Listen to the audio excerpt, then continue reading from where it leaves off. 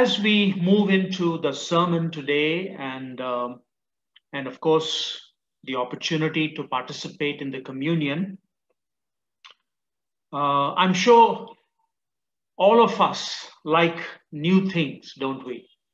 We all uh, enjoy, for example, new clothes. Whenever we purchase new clothes, we are eager to, you know, wear it and probably show it off. And I know that children especially love new toys. Uh, just uh, the last month, our grandson um, celebrated his first birthday, and my son and uh, his wife purchased an elephant for him, an elephant on which he could ride.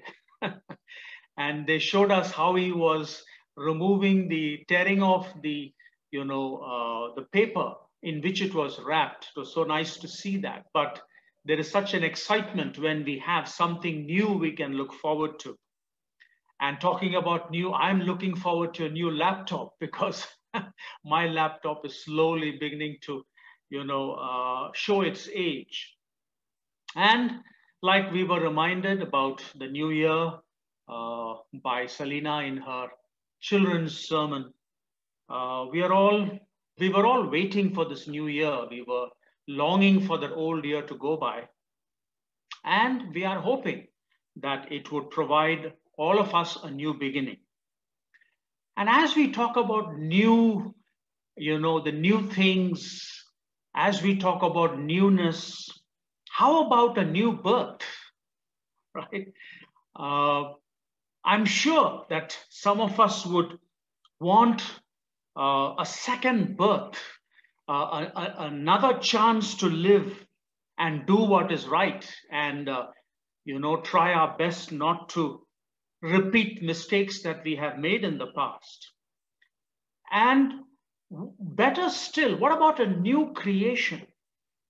What about a new earth, even as the earth goes through, our earth goes through so much of stress and strain. And talking about uh, a new earth, you know, the scientific community and the scientific enterprise is trying to give us so many things new. If you see the kind of technologies that are coming along today, you hear about nuclear technology and you hear about digital technology uh, and now new, new names are coming, nanotechnology, robotic technology, space technology, and information technology. And uh, I think it is wonderful to see the tremendous amount of scientific uh, progress that have been made. And we must thank our scientific community for the tremendous amount of innovation and progress that technology makes. But sadly, unfortunately, even though we have all of this new technology coming, our world is not necessarily a better one. Every year, we seem to be facing new challenges, like, for example, the new virus and the new virus becoming, you know, uh, mutating to other viruses. Uh, sometimes we have, we, we see more degradation in spite of new technology that may have been, uh, you know, developed. And even worse still, if you look at humanity as a whole, hu humankind is not necessarily becoming better. We are not experiencing newness in our nature as a human being. It's so sad when we see people becoming more selfish, more greedy, unfortunately, more destructive, emotionally disturbed, spiritually unfulfilled, you know, relationally isolated. Uh, all of these things continue to plague us as human beings. And though we see so many new things taking place, but human, the human nature is not progressing towards, you know, a newness which is better than what is in the past. But we have some good news. Interestingly enough, the Bible talks of a new creation and a new birth. Uh, in fact, it talks about a fairy tale ending. You probably, all the children will know uh, the fairy tale ending of every good story. And they lived happily ever after. interestingly enough, that is what the Bible talks about. And when I talk about a story ending with they lived heavily, uh, uh, uh, lived happily ever after, it reminds me of my son. You know, every time I used to tell him the story when he was a little boy, I came to this line and say, and they lived happily ever after, then he would say, and then what happened? You know, he wanted to know what happens after happily ever after. I said, they lived happily ever after. But he said, and then what? he didn't want the story to end, you see. But today, I want to talk about, you know, this newness. Even as we are moving into a new year, we've already entered into it. Hasn't been too encouraging as we see turmoil all over the world. Uh, and I want to title my uh, sermon, and let me just go ahead and share my screen. Give me just a moment to do that. Okay. Uh, let me go back to the title here. There you are. The title is Immersion and New Creation. You must be wondering, what is this title? Immersion and New Creation. Uh, the, reason, the, the reason I've titled it that way is this new creation, this newness is going to come about because of immersion. and you must be wondering now, what is this immersion? Am I talking about a new theology here? Maybe we can call it immersion theology. Uh, obviously, there is nothing like an immersion theology. Uh, I just made up that that uh, that word, but uh, but I think it, it, it fits in very well. So we are going to talk about a new creation and how it comes about by this immersion. But let's talk about the new creation, you know, where we are told in the book of Revelation, read to us by Sikinder, how we can look forward to, uh, you know, such wonderful new things, everything being made new. Look, look at the fifth verse in what was read to us from Revelation 21. It says, He who was seated on the throne said, throne said, I am making everything new. And then he said, Write this down, for these words are trustworthy and true. So uh, here is a promise. And children, you just heard about promises, how God is going to keep his promises. And here is a promise that we can look forward to.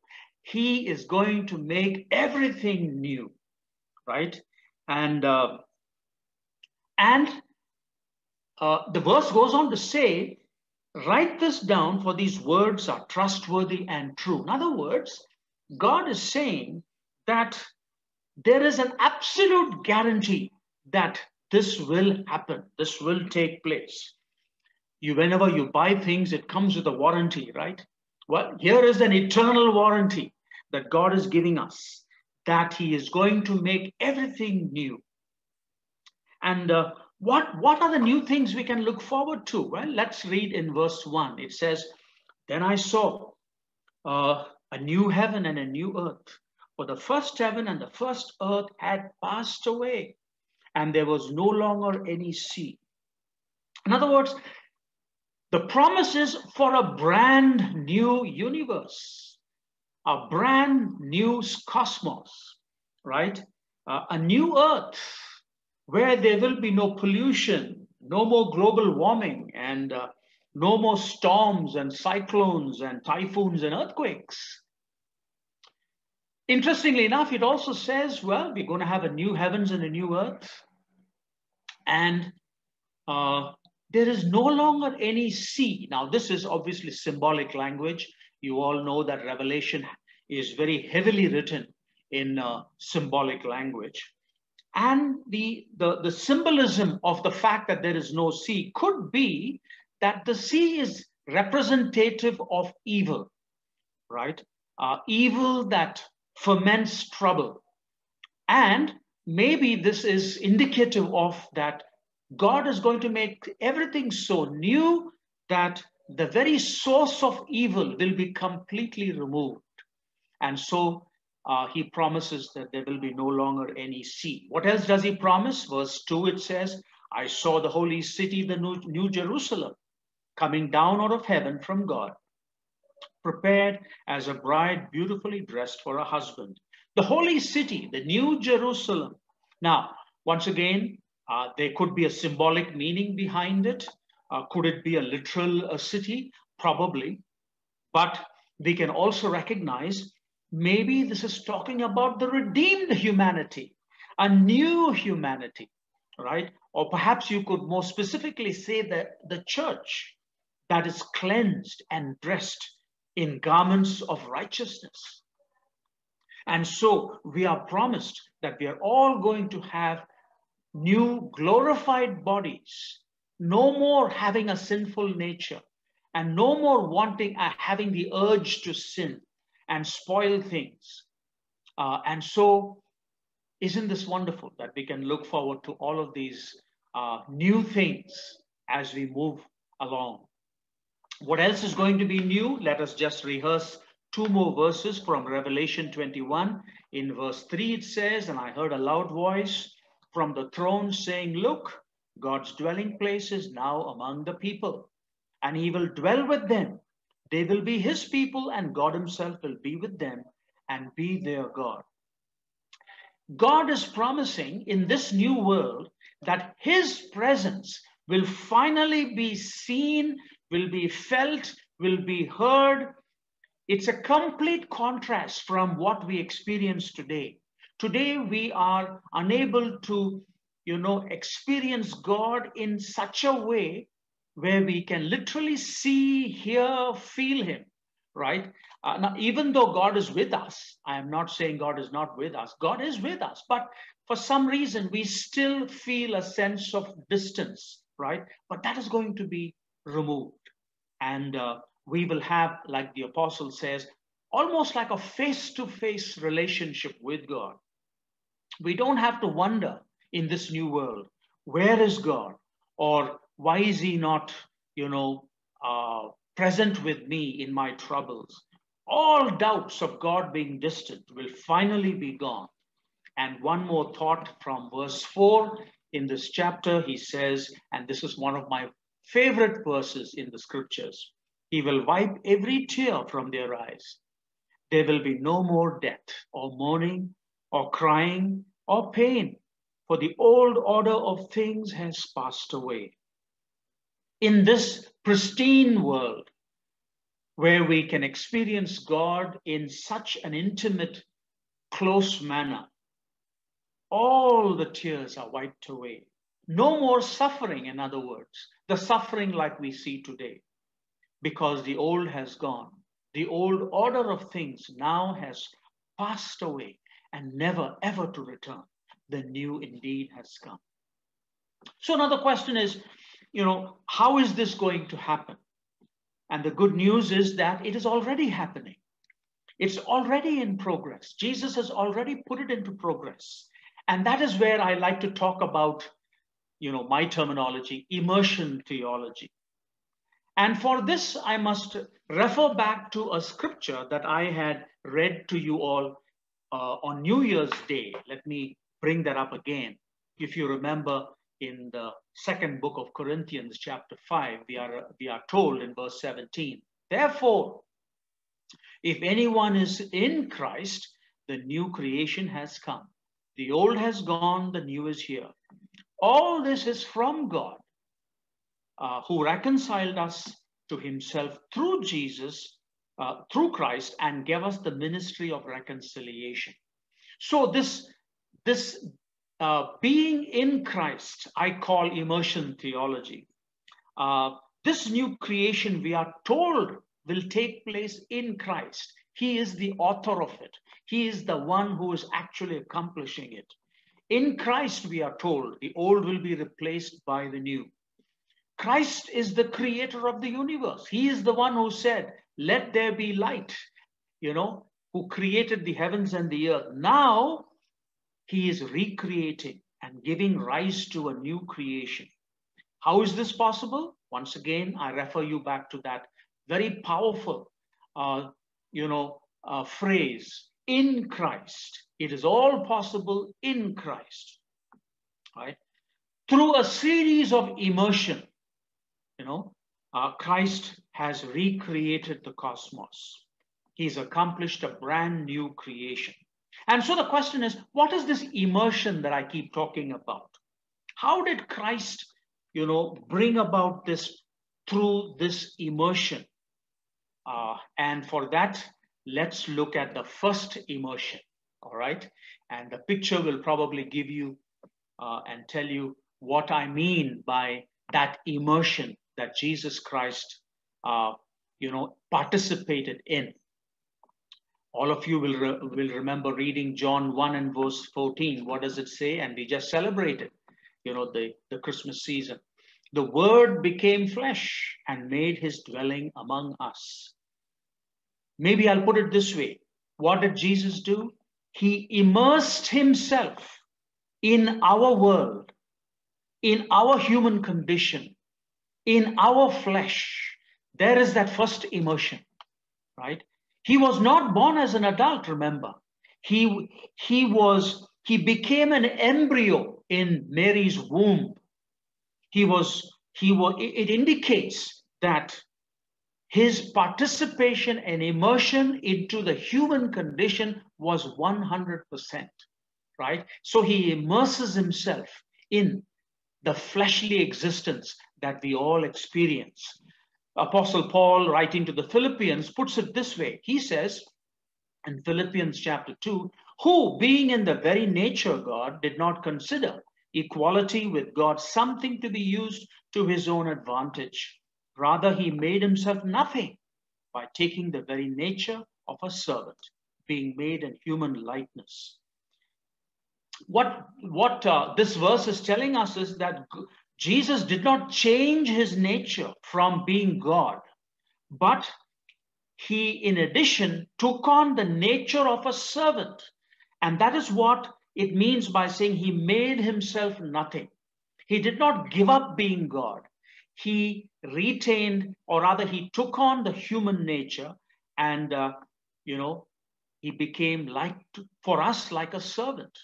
He was not born in a palace, but he was born just as an ordinary person right here on the earth. He, once again, if I can use that word, he immersed himself in human likeness he was every bit a human. That's the first immersion. Now, I'm sure as we move along, you will very, very quickly begin to guess what is the second immersion, right? And uh, the picture will show you what that second immersion is. Let's read it in Mark chapter 1. At that time, Jesus came from Nazareth in Galilee and was baptized by John in, in the Jordan. Just as Jesus was coming up out of the water, he saw heaven being torn open. Notice those words, very interesting torn open. And the Spirit descending on him like a dove. And a voice came from heaven You are my Son, whom I love. With you I am well pleased. Obviously, this is talking about Jesus' baptism.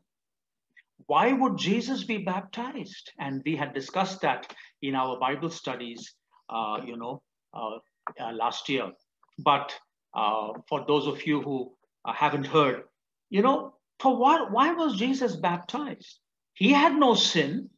He did not have any sin to confess or repent of. But here is the interesting uh, truth that we can learn. Jesus' baptism was an immersion, an immersion into our sinful condition.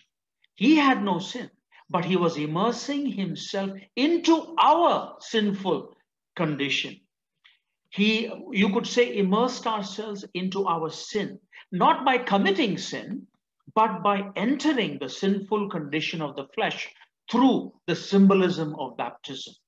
So, in one sense, he was like, you know, pardon me if uh, this is a bit of a graphic uh, example. You all of us here in India know about scavengers, the work of scavengers, right? What do they do?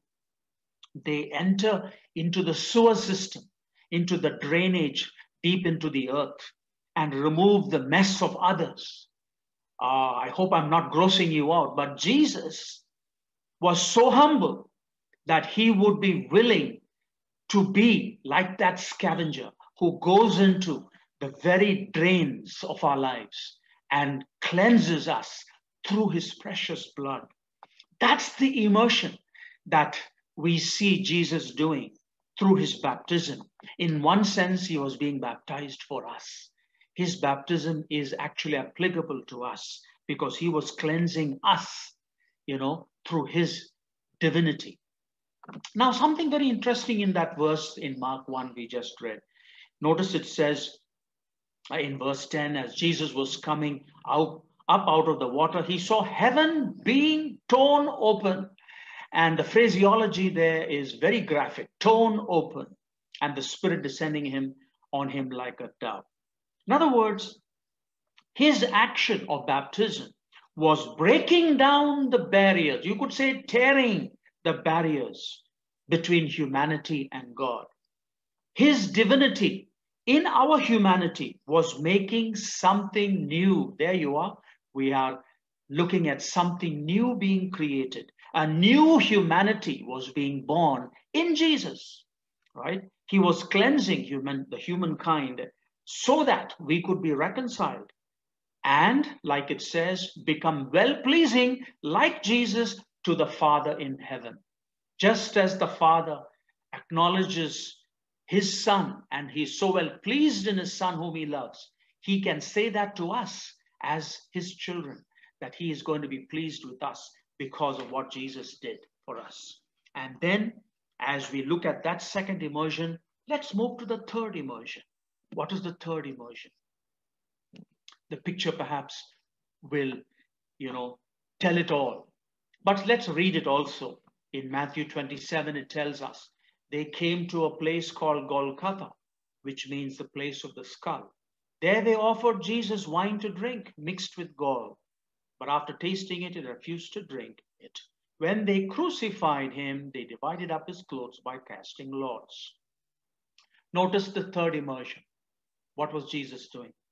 He was immersing himself into human pain, human misery, and human death. His immersion was so complete that he goes all the way, even into human death. You know, many of you have asked me the question, why did Jesus have to die? And that's a question I've been reflecting on. And one of these days, I'm going to do a Bible study on that but i'm beginning to begin to see why was the what was the necessity for jesus to die and i believe this answers it he was immersing himself into our death right? John 19 tells us uh, in verse 30 uh, when he had received the drink jesus said it is finished with that he bowed his head and gave up his spirit. In other words uh, the immersion was so complete that Jesus now declared, It is finished, it is done. Jesus' submersion into human sinfulness and depravity and human pain and death is now complete. It was, it was done when Jesus finally, you know, died as a human upon the cross. And then, of course, I must bring this, this image into our minds as we talk about the third immersion. This is found in Matthew 27. Notice it says, at that moment, the curtain of the temple was torn. Remember, we talked about the, the torn heavens. Now notice there is a torn curtain. Uh, temple was torn in two from top to bottom. The earth shook, the rock split, and the tombs were broken open. Uh, the bodies of many holy people who had died were raised to life. They came out of the tombs after Jesus' resurrection and went into the holy city and appeared to many people. Right? The torn curtain in the temple, once again, is uh, a reflection of the torn heaven. You know, the heavens being torn. And what does it symbolize? The barrier between the Holy of Holies as far as the temple is concerned, and the rest of the people now has been completely been removed, banished, taken out, right? And when that took place, what happened? The tombs broke open. and people started coming to life. In other words, death was conquered. Jesus' immersion through the three immersions was so complete that now he is bringing something new into the world. The old life is gone through the death, and now a new life has come. A new birth was taking place. You could say the kingdom of God was breaking upon humanity in power. So now that the immersion was complete, right, we looked at the three immersions. There's something very interesting I'd like to leave you with. I'd like to put it this way the reversion, the, the immersion is reversed. What happened after the crucifixion and Jesus' death, the third day? Obviously, the resurrection took place, right?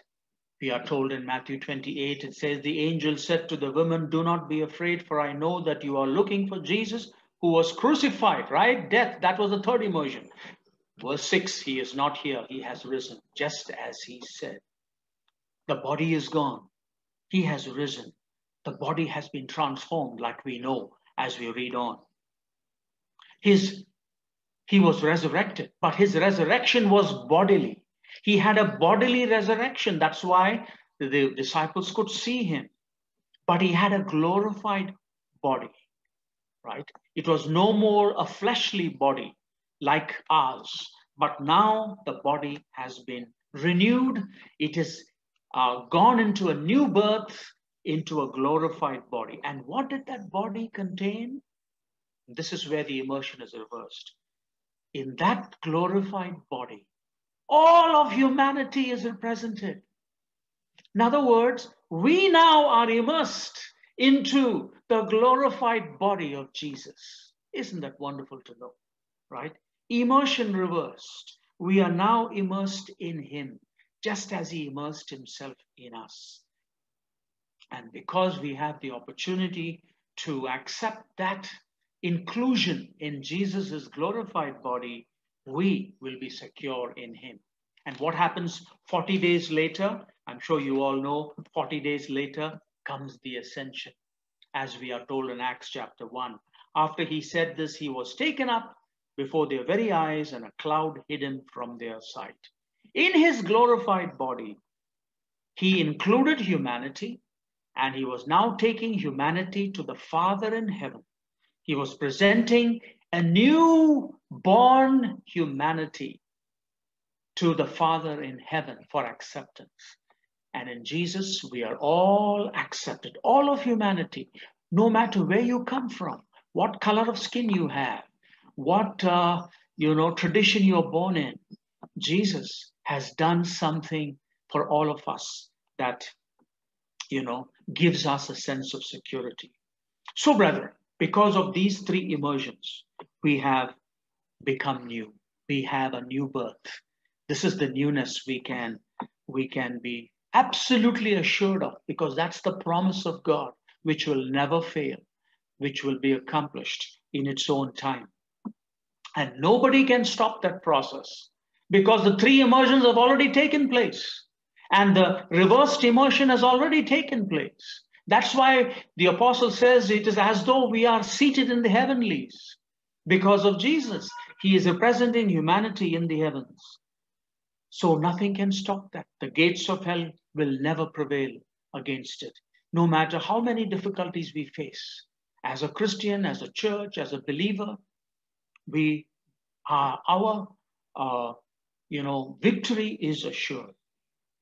And uh, so, how shall we live our lives then? I go back to that verse in the book of Corinthians, which I brought to you earlier. Therefore, you know, with confidence we can say, if anyone is in Christ, the immersion, the reversed immersion, he is a new creation. You're already born anew.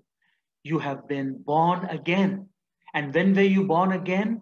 When Jesus rose from the grave. That's when you were. All of humanity was born again, right? He is a new creation. The old has gone, the new has come. We are in Christ because Christ came into us first. We are immersed in Christ because Christ immersed himself in us. And we are now given the opportunity to accept that immersion in Him. And that is why many of us get baptized as a symbol to show, yes, Lord, just as you immersed yourself in me, I immerse myself in you. There is another symbol that talks about or that represents this immersion. And what's it called? It's called communion, right? This immersion is called communion. So let me stop sharing and let me lead you in this communion. Uh, communion, brethren, is an acceptance of Christ's immersion in us. And our acceptance as we participate, our acceptance of we being immersed in Jesus, even as we take Jesus in us, He is including us in Him. That is why we are told we are in Christ. So let's celebrate, even as a new year dawns, even as the old has gone and the new has come, and the new will now progress to its final conclusion, ultimate conclusion in the fullness of the kingdom. Right? And so, in that assurance, let us pray over the elements you may have your elements ready if it is uh, before you. Join me as I ask for a blessing upon the bread and the wine. Gracious, loving Father, as we come to come into your presence, we know, Lord, you have included us because you immersed yourself in our condition, in our flesh, in our existence, and you lived a life to finally vanquish us with the victory uh, over pain and misery, suffering and death. Thank you, Lord. That process now is put into gear. It will never stop. The gates of hell will never prevail against it. And so I pray, Lord, that you will bless this bread as a symbol of your body that you allowed to be immersed in us. And as we participate, help us to immerse ourselves in you. We pray for this wine, which is a symbol of your blood cleansing us completely. And we thank you for that sacrifice that indeed has given us opportunity to be included in you. We ask your blessings upon it in Jesus' name. Amen. The bread, brethren, the body of Jesus Christ, let us immerse ourselves into the glorified body of Christ.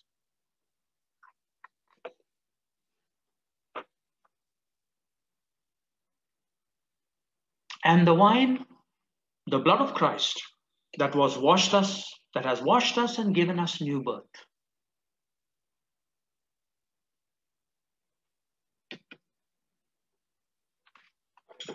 And now, as we have opportunity, whenever we have it, let us live and share this wonderful gospel, this good news that Jesus has immersed us in him. We look forward to the fullness of it. God bless you.